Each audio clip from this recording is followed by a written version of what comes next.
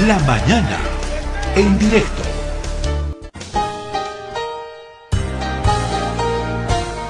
Seguramente ustedes se han enterado de los conflictos que hay por el tema tierras, sobre todo en el departamento de Santa Cruz y sobre todo entre el gobernador de Santa Cruz, Luis Fernando Camacho, y el presidente ahora, porque ayer hizo un anuncio el presidente Luis Arce. Para hablar de este tema y para desentrañar cuál es el conflicto, qué hay detrás de este tema de tierras, hemos convocado a Gonzalo Colque, él es director de la Fundación Tierra, a quien le doy las gracias por atender el llamado de Herbol y el saludo, buenos días Gonzalo. Un saludo cordial a la distancia, un gusto estar nuevamente en tu programa. Bien, eh, estaba diciendo que hay un conflicto en ciernes a la vista, podríamos decir, o este conflicto ya se arrastra desde hace mucho tiempo atrás. El eh, presidente eh, del país hizo un anuncio en sentido de que va a ordenar la dotación de tierras en el departamento de Santa Cruz. El gobernador de Santa Cruz, Luis Fernando Camacho, le dijo que no, que eso era una provocación y que eh, la dotación de tierras siempre traía conflictos.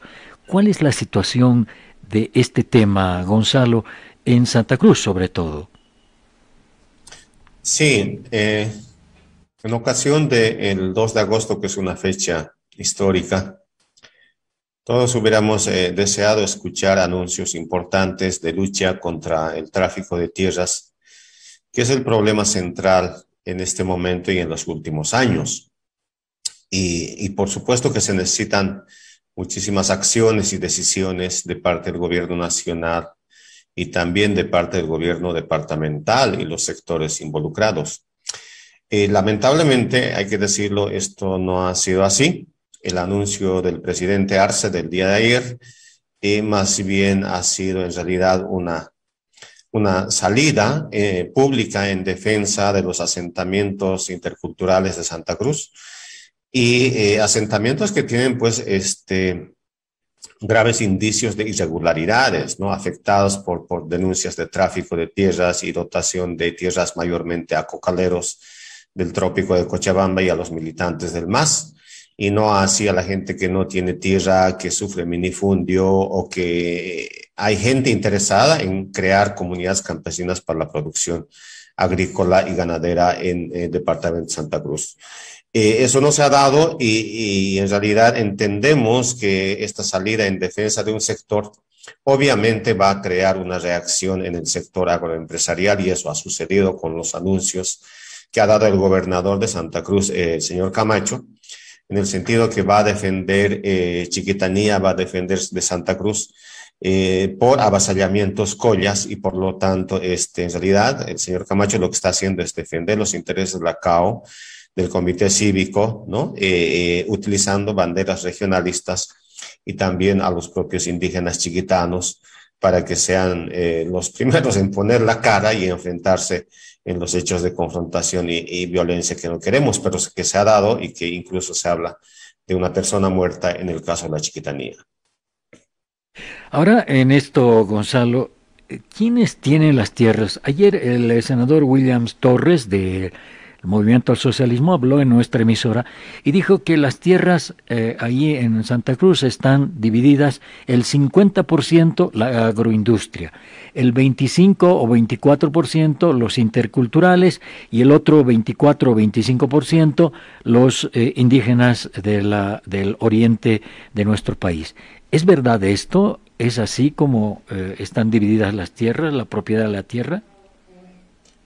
Probablemente esa referencia sea a los datos eh, generales de la tenencia de la tierra del INRA sobre cómo está distribuido entre distintos sectores. Eh, pero no tiene muchísima relevancia esa manera de entender el problema agrario, eh, sobre todo en Santa Cruz, por varios problemas y, y, y, y definiciones técnicas que, que, que resumen lo siguiente. Primero, el valor de la tierra, el valor comercial, el valor productivo de la tierra no es lo mismo en una zona central y productiva como sería la zona de Pailón o Cuatro Cañadas que en la zona de San Ignacio o en el Chaco cruceño. ¿no? O en las zonas mucho más alejadas, con menos infraestructura, sin chaqueos, sin desmontes, sin servicios. Entonces podemos encontrar tierras que tienen un valor de un dólar la hectárea, hasta tierras que tienen valor de cuatro mil, cinco mil dólares la hectárea con mejoras que, que son introducidas para la producción empresarial. Entonces no se puede equiparar y contar por igual. Eh, lo importante es ver por cada zona agroecológica quién tiene esas propiedades.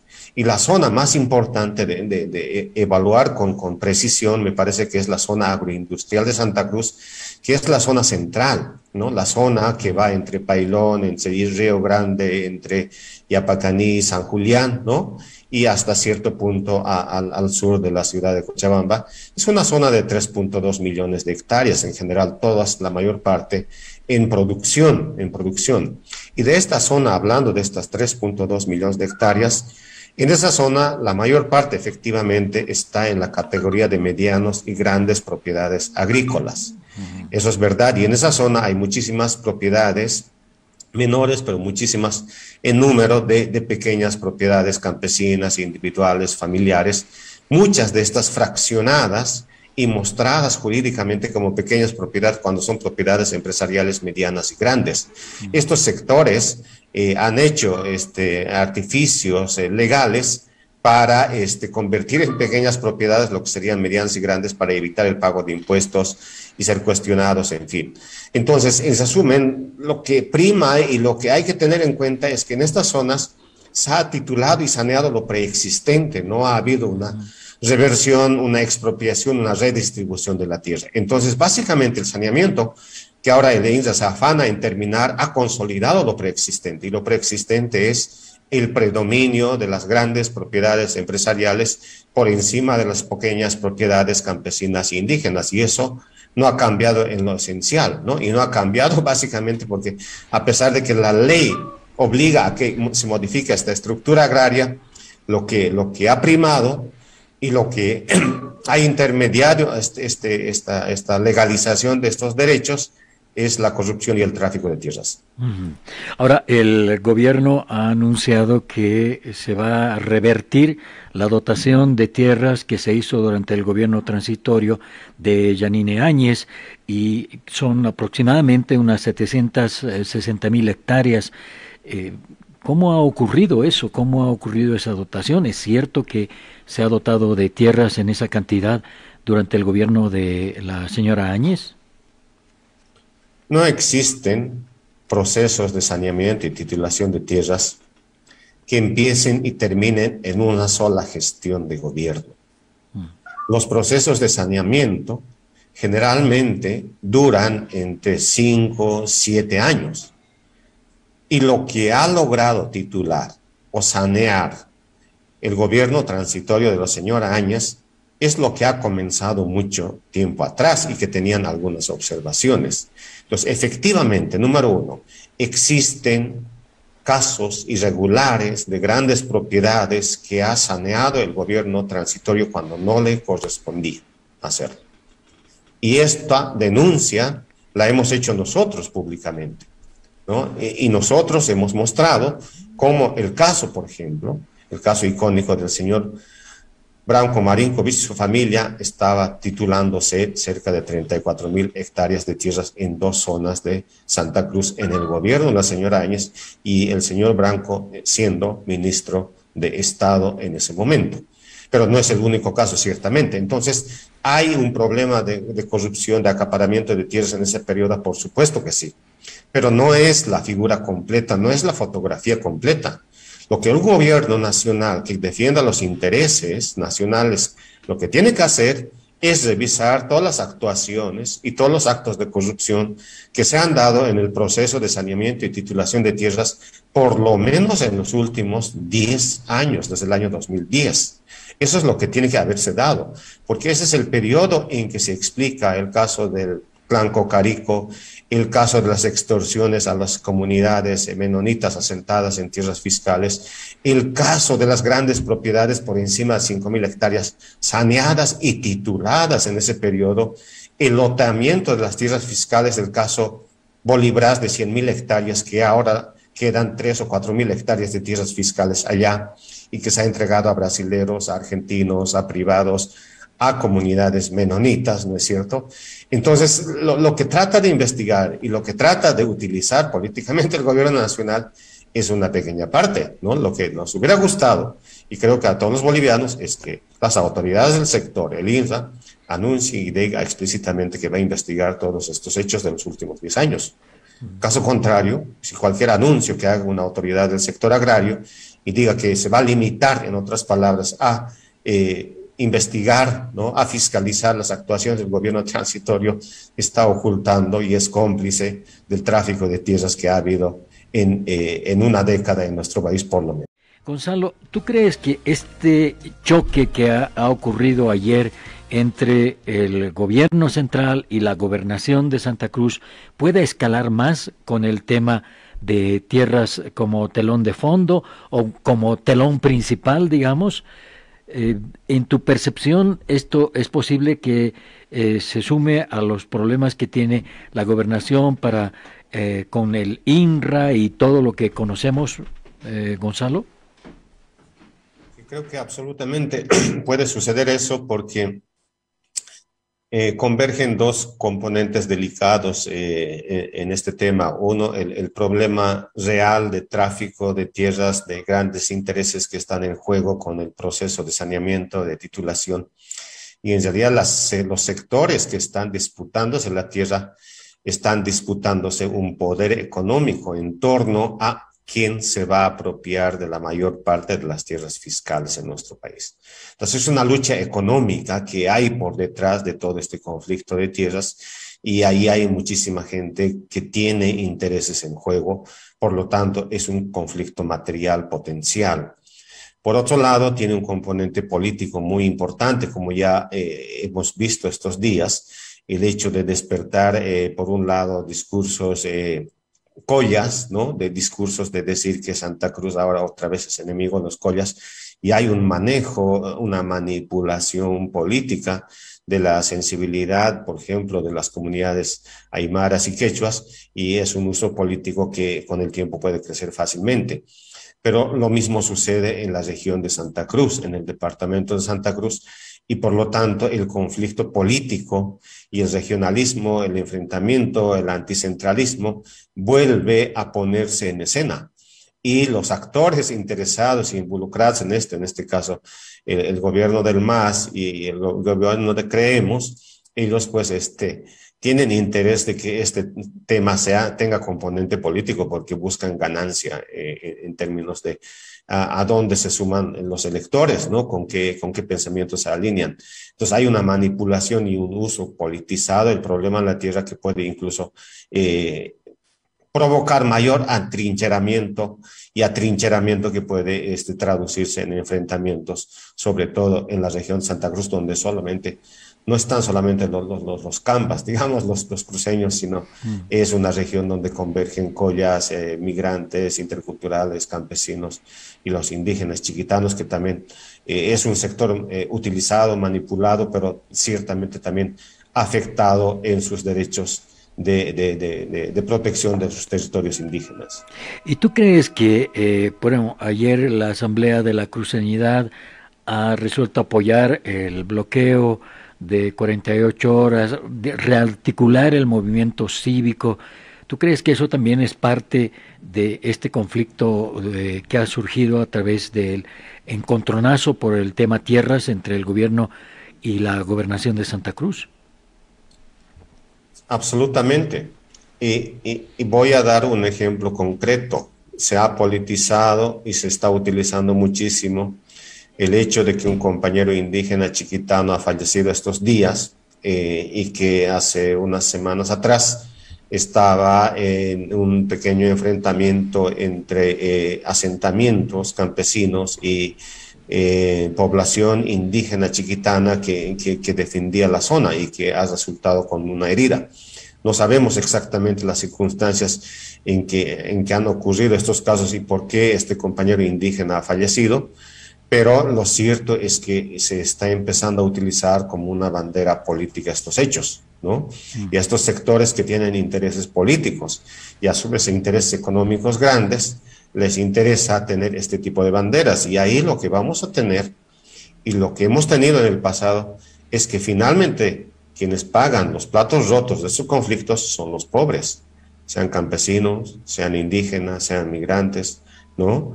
Ellos empiezan a enfrentarse, empiezan a ser utilizados como carne de cañón y ellos son eh, las principales víctimas porque eso es lo que ha sucedido y eso es lo que puede llegar a suceder en adelante.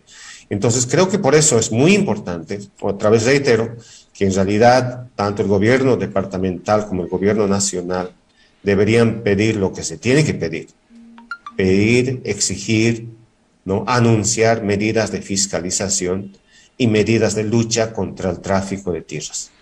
Eso es lo que corresponde y no eh, eh, cada uno atrincherarse en sus propios discursos e intereses económicos, porque como, como he mencionado, esto va a crear mayor conflicto y en eso van a estar los pobres que son campesinos, los indígenas, y en realidad vamos a estar los bolivianos enfrentados otra vez en torno a intereses económicos y políticos eh, que no lo van a decir, pero que tienen estos sectores eh, que anuncian este tipo de batallas políticas. A ver, eh, ¿a cuánto ascenderá en, en, dinero esos intereses económicos por las tierras en Santa Cruz? ¿Cuánto será el capital que está en juego en este juego político, digamos, de las tierras en el oriente boliviano? Son miles y millones de dólares, no, no se puede cuantificar tan fácilmente eso. Millones. Pero obviamente estamos hablando, en este caso de los gremios agropecuarios, de la defensa de un sector económico cuyo poder económico está basado en la tenencia de grandes extensiones de tierras que fueron fiscales y que ahora pasan a manos privadas, ¿no es cierto? Mm. Eso en sí es un capital económico importante que posee un gremio cruceño empoderado en el sector agroindustrial. El otro tema importante es la renta, la renta agraria que genera este sector, porque estos temas de tenencia de la tierra no necesariamente implica que el propietario es a su vez productor.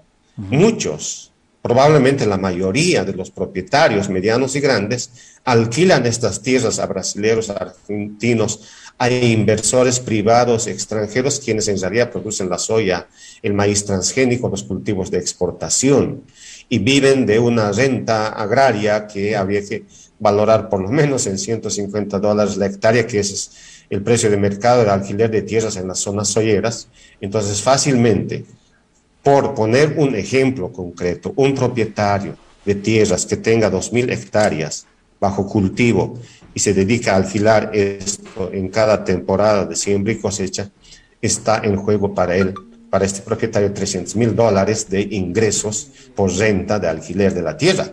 Entonces, los intereses que están en juego son realmente grandes e importantes. No estamos hablando de tierras marginales que no tienen valor productivo, ¿no es cierto?